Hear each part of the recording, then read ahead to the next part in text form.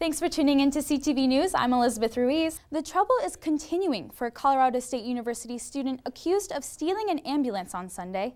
Good news, students, the CSU Morgan Library will have extended hours beginning November 30th. The cold has been extremely harsh, especially here in northern Colorado. Poudre Valley Hospital has seen two cases of extreme cold exposure so far.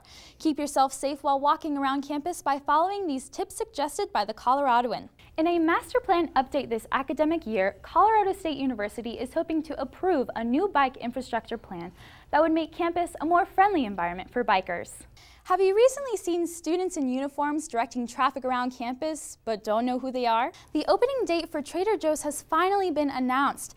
Beginning February 27th, shoppers can visit the long-awaited grocery chain, plus a new outdoor sports gear store with great deals. Don't go away. What's happening in the world of Ram Sports, Grace? Grace, what can you tell us about this developing story? Hey Liz, great weather we're having.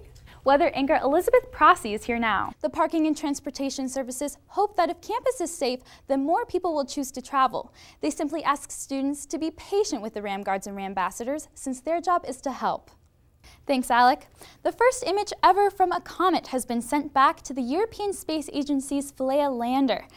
To vote on which school you think is the best veterinary school, visit veterinary-schools.findthebest.com. If you have any information regarding these incidents or recognize the suspect, call Crime Stoppers of Larimer County at 970-221-6868.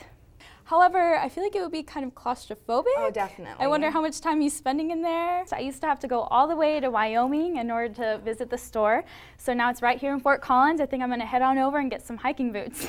well, that's all the time we have for tonight. Thanks for watching. Remember, the news doesn't stop here. Be sure to check out the rest of our stories at collegian.com. Thanks for joining us on CTV News. Check us out on the Collegian website and on Twitter at CollegianC.